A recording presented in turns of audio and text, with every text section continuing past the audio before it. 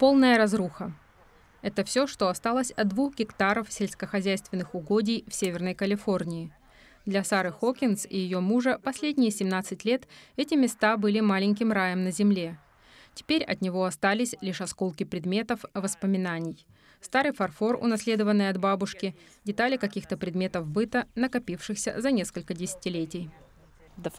Огонь продвигался по невысокой траве, по грязи. Мы не знали, где мы сами можем спастись.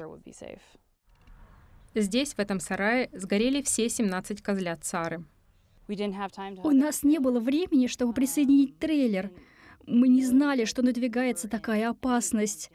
Никогда пожары здесь не распространялись так быстро. И мы просто не смогли их спасти. Сложно с этим смириться, потому что я несла за них ответственность.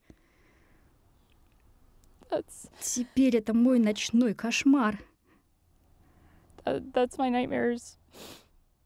Как здесь все начинает гореть.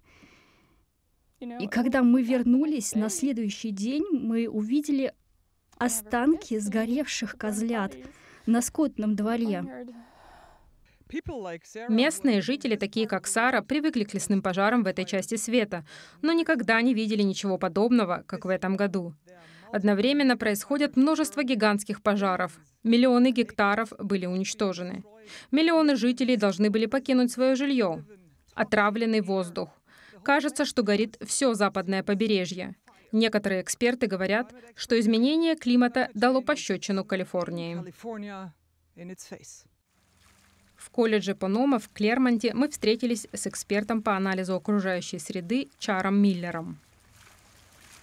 Люди являются движущей силой изменения климата, потому что они ездят на автомобилях. Выбросы загрязняют окружающую среду. Все это нагревает планету, атмосферу.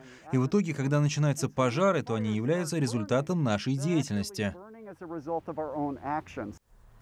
Сара Хокинс не сдается и уже начала строить новый хлев с осознанием того, что новый пожар может опять все унести.